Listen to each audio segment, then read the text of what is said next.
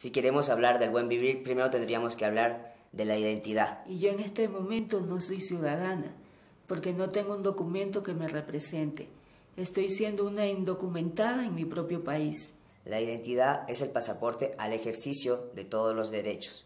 Y las personas trans no tenemos ese pasaporte. Tener una cédula que no nos representa avala la discriminación laboral.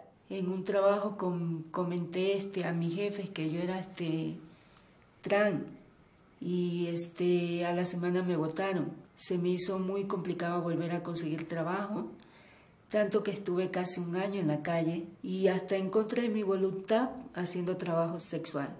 Alquilar una vivienda es una odisea para las personas trans. Muchas veces tenemos que falsificar nuestro documento y alterar la letra F por la M, como delincuentes. ¿Cómo hablar del buen vivir sin vivienda digna? Y sin un reconocimiento a tu identidad de género, este, no, no puedes acceder al buen vivir del que, del que tanto se habla. ¿Cómo pedir al Estado un proceso de masculinización sin riesgo si primero no reconoce mi masculinidad?